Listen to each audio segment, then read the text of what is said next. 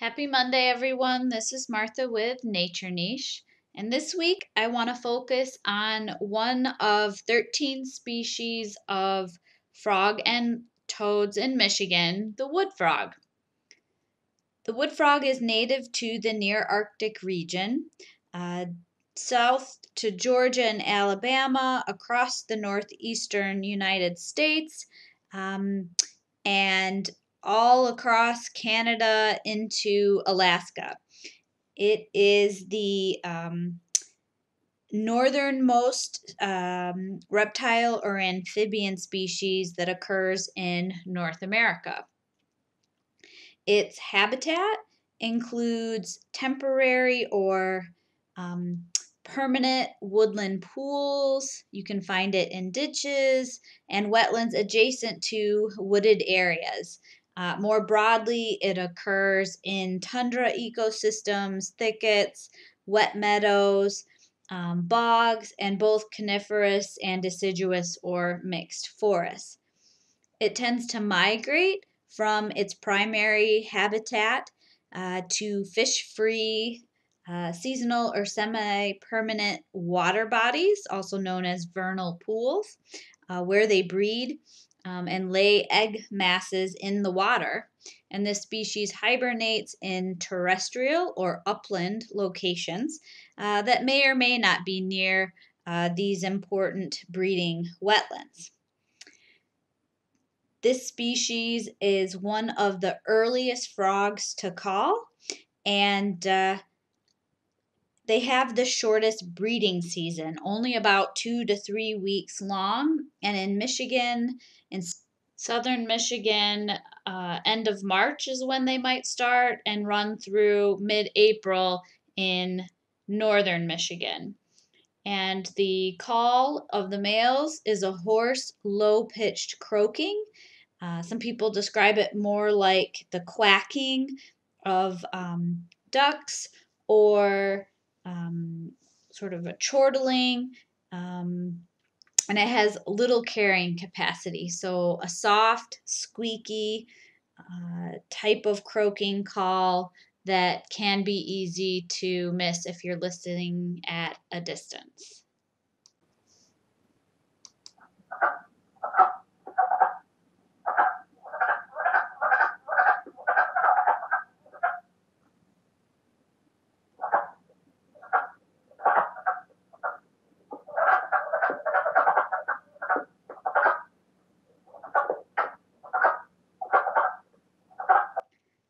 This call is often heard before um, the ice is melted off of the pond surfaces.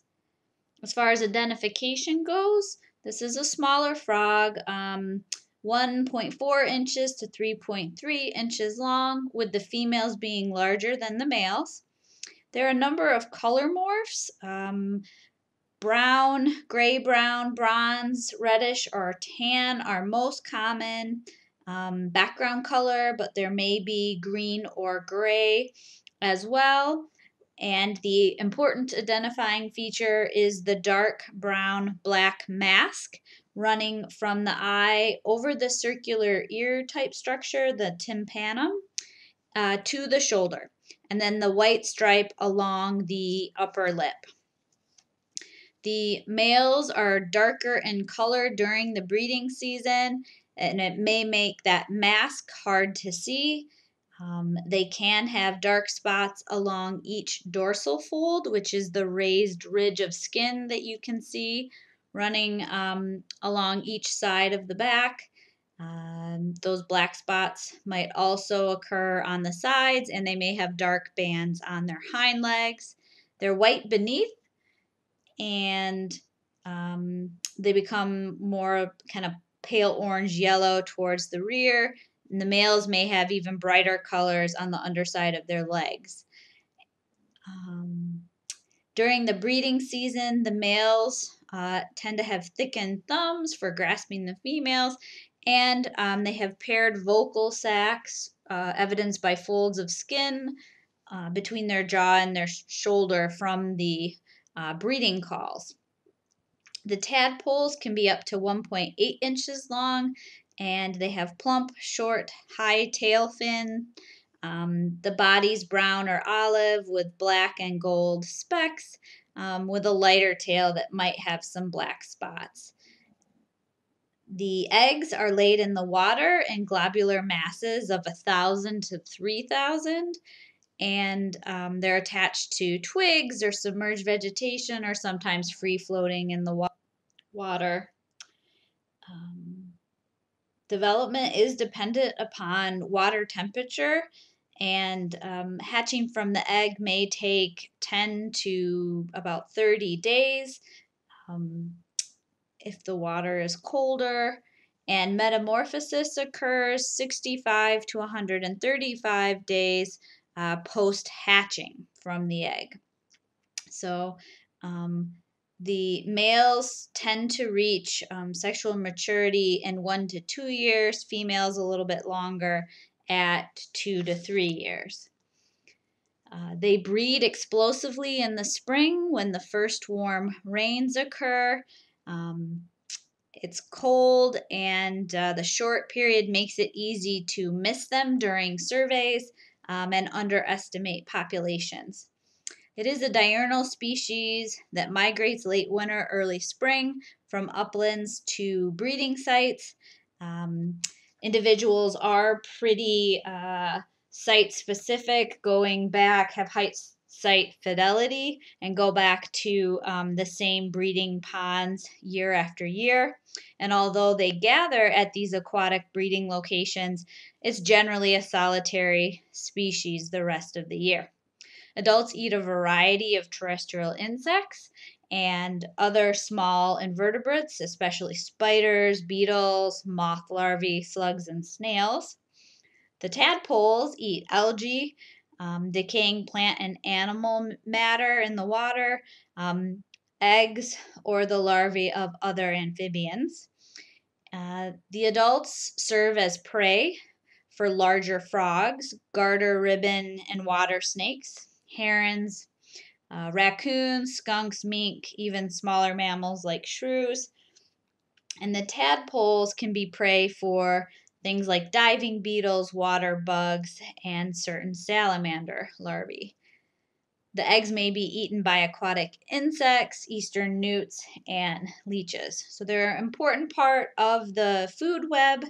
Um, they have some interesting uh, anti predator mechanisms, including the adults um, have noxious skin secretions that may deter smaller predators like shrews uh, but they mostly rely on camouflage to blend into the forest floor. And they may emit a piercing cry when grabbed that startles predators enough to release them. And older tadpoles um, have poison glands to help repel predators as well. This species uses cryogenic freezing process during hibernation uh, 35 to 45% of the body may freeze, turn to ice. The frog's uh, breathing, uh, blood flow, and heartbeat cease. And this freezing is possible because of specialized proteins and glucose, which prevent intracellular freezing and dehydration.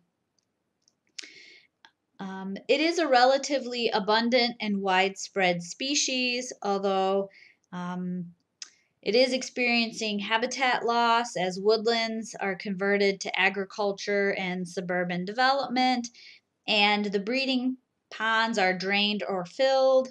Uh, road or other types of uh, habitat fragmentation um, can really harm populations as they're killed trying to migrate uh, to and from their breeding ponds um, acid rain and toxic runoff into the ponds um, is also a problem. And in general, amphibians are really great indicators of environmental health. Um, and so where you where you see that uh, pollution and habitat destruction, that will um, translate to lower populations relatively quickly. And I just wanted to remind everyone that uh, reptiles and amphibians are still active in the fall and uh, make sure you're monitoring your window wells and watching out for them on the roads. Um, if you want to learn more about monitoring and retrofitting your window wells, check out Monday with Martha number 48. And I hope you get to see some of these really cute uh, wood frogs on your next walk through the woods. Take care and have a good week.